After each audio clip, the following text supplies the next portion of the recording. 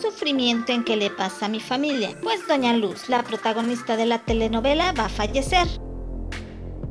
Por lo menos así lo expolió el mismo productor de la telenovela, Juan Osorio, quien a través de su Twitter anunció que tal muerte sí se daría. Y es que recordemos que en la telenovela se va desarrollando la historia de Doña Luz, la protagonista de ¿Qué le pasa a mi familia?, interpretada por Diana Bracho. En lo que va del recorrido de la telenovela, se sabe que Doña Luz está muy enferma, aparentemente de cáncer y es por eso que ha decidido demandar a sus hijos para que estos en un tiempo récord se unan y logren estar juntos para el momento de su muerte.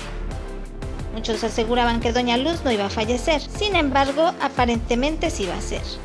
Juan Osorio a través de su Twitter convocó a los guanajuatenses a presentarse para que le ayudasen a grabar la escena del funeral de Doña Luz. Oye papá, ¿es verdad que mañana vamos a necesitar mucha gente en la Plaza Baratillo a las 7 de la mañana? Sí, porque vamos a grabar el funeral de Luz. Y usted es una parte importantísima de nuestra novela. Dicho spoiler a muchos les tomó de sorpresa, pero no solo eso, también subió videos donde se ve que efectivamente se están despidiendo de Doña Luz en un funeral masivo y donde los hijos lloran la muerte de su madre.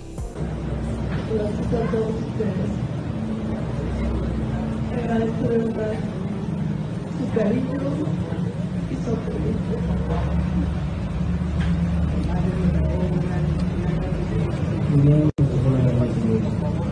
Venga a nosotros tu reino, hágase Señor tu voluntad en la tierra como en el cielo. Danos hoy el pan de cada día. Muchas gracias a todos por estar hoy aquí a nombre de mi mamá. Muchas gracias. El público que ve esta telenovela está dividido, pues muchos esperaban que no muriera Doña Luz y otros no saben si esto es una publicidad por parte del productor para seguir manteniendo en suspenso dicha telenovela, pues recordemos que es la más vista en la barra de telenovelas de Televisa.